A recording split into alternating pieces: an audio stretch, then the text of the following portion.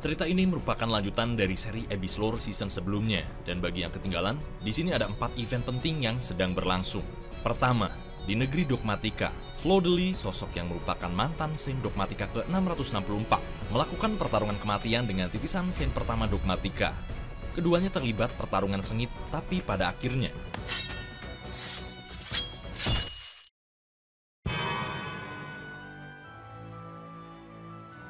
Flodeli tewas di tangan dingin Quem. Sosok yang mungkin kekuatannya sudah jauh lebih kuat akibat ritual-ritual di Dogmatika. Ecclesia yang baru sampai di sana pun menangis melihat kematian Flodeli. Apa yang akan dilakukan Quem selanjutnya? Dia terlihat menghampiri Ecclesia yang sedang shock.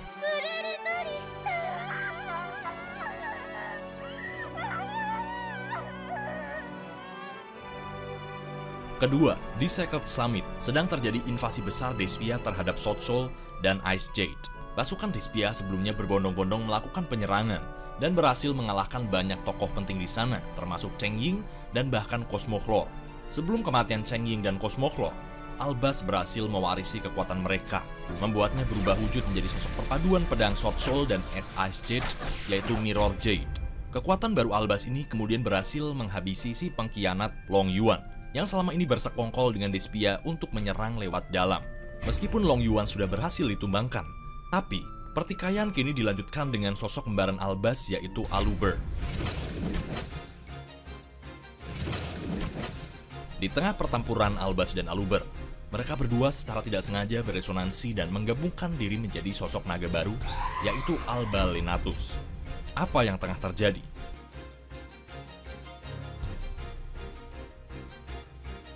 Kemudian ketiga, masih di kawasan Sword Soul dan Ice Jade, tepatnya di dasar Ice Jade Senot Enian Cradle. Setelah sosok ibu para Ice Jade yaitu Cosmo Floor dibunuh oleh Long Yuan, Egerin di sana hanya terdiam, termenung seorang diri di hadapan puing-puing Cosmo Floor, sedang meratapi kepergiannya. Terlihat begitu sedih. Betapa tidak, Cosmo Floor sendiri adalah sosok ibu dari para Ice Jade. Akankah Egerin baik-baik saja? Keempat, Akhirnya para Springgans tidak tinggal diam. Mereka pergi berpetualang dan berusaha keras mencari senjata mutakhir untuk membantu Albas dan kawan-kawan mengalahkan para Despia. Untuk memperoleh sumber kekuatan senjata tersebut, kini mereka harus mengikuti sebuah turnamen di Iron Land di sebuah tempat misterius bernama Discalesium. Tempat ini diyakini menyimpan energi yang luar biasa dahsyat dan mereka mencoba menyibaknya. Tapi kini mereka harus melawan para pemain gladiator di sana, yaitu Tyrion. Setelah mengalahkan beberapa petarung di sana, kini Kapten Sargas yang merupakan sosok terkuat di Springgans harus berhadapan dengan raja dari para Tyrion, yaitu Regulus. Ternyata Regulus punya kekuatan fisik yang teramat kuat. Bisakah Sargas mengalahkan sang raja? Bisakah mereka melalui semua ini? Tapi pertempuran mereka melawan Despia baru akan segera dimulai. Ecclesia memang sudah merasakan firasat buruk soal Flodeli. Flodeli kini terkapar dingin di pelukan Ecclesia. Flodeli merupakan sosok kakak bagi Ecclesia. Saint pertama Quem menghampiri Ecclesia yang sedang sangat berduka. Quem memeluknya dengan tangan dingin, diikuti Quartis, wadah dari semua Saint yang sudah melalui siklus cinta dan putus asa. Jiwa dari Saint pertama hingga Saint ke-663 bernaung pada Quartis. Bisa dilihat tangan dari arwah-arwah para Saint sebelumnya sedang melambaikan tangannya. Dan kini Quartis dan Quem mencoba untuk mengambil sekaligus jiwa Ecclesia dan Flodeli yang ada di hadapannya itu. Quem dan Quartis memeluk Ecclesia dan juga Flodeli. Seolah menawarkan kenyamanan pada mereka, Ecclesia memang sudah menyerah dan putus asa. Di belakangnya muncul sebuah pintu besar dan dia mulai perlahan terbuka.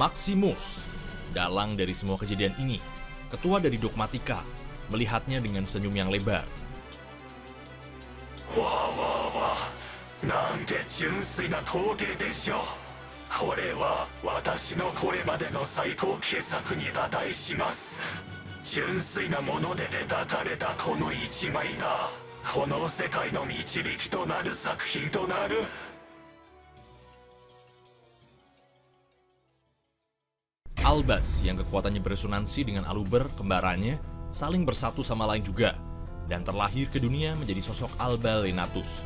Entah apa yang sebenarnya terjadi, tapi di saat seperti ini, Albas bisa merasakan jeritan hati Eklesia yang sedang terluka jauh di sana. Meskipun kekuatan Albas sebagian besar sudah diambil oleh Aluber, tapi Albas berhasil tersadar lewat sisa-sisa kekuatan yang diberikan Cheng Ying dan Cosmoclore kepadanya. Lewat kesadarannya sebagai Ice Jade Blade, Albas akhirnya berhasil kembali ke wujudnya semula dan berhasil memisahkan diri dari Alba Lenatus.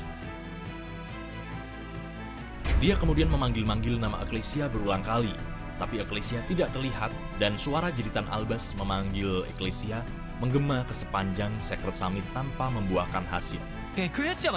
No? Eklesia! Egrin, dia menyaksikan sang ibu yaitu Cosmoclore benar-benar dihancurkan di depan matanya oleh Long Yuan. Kini dalam sekejap, hati Egrin yang masih muda dan suci itu diselumuti oleh pekatnya kebencian.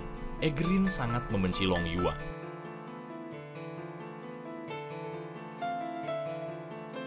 Pasca kematian Cosmoclore, Egrin tanpa sadar telah membangkitkan kekuatan pada dirinya dan lahirlah dia sebagai Ratu Ice Jade berikutnya.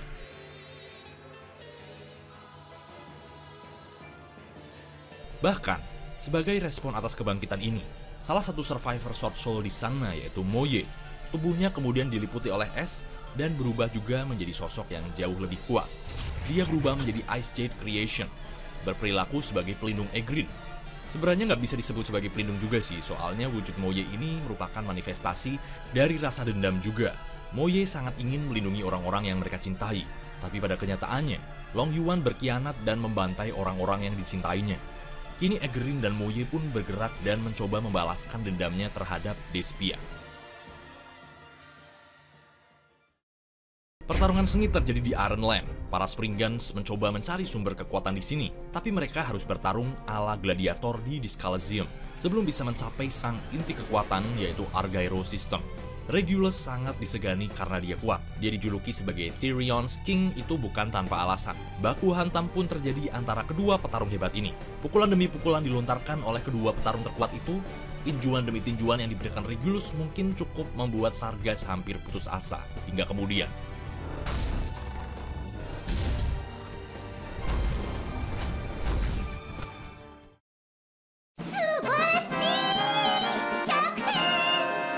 Setelah melalui pertarungan panjang, sebuah keajaiban, Sargas berhasil mengalahkan Regulus. Kini dengan senang hati, Springgans berlari dan berkonfrontasi dengan otak dari Discalasium, Argyro System, sosok AI yang sebelumnya merupakan sistem auto repair dari Discalasium tersebut, objek yang juga berasal dari dunia lain. Dia terlihat semakin bergejolak melihat kekalahan memilukan yang dialami oleh para Therion. Insting bertarungnya pun kian bergelora. Alter ego dari Argyro System yang sesungguhnya akhirnya muncul, dan dia terus-menerus memancarkan energi listrik yang memelatuk terjadinya petir vulkanik. Kit dan kawan-kawan terperanjat menyaksikan hal tersebut. Argyro System mencipratkan energi immortal secara terus-menerus. Tidak seperti biasanya, raut wajah Argyro System tampak berbeda, dan kini sosok Argyro System memecah menjadi percikan-percikan energi mengerikan dan bermanifestasi menjadi sosok yang dikenal sebagai Sprite.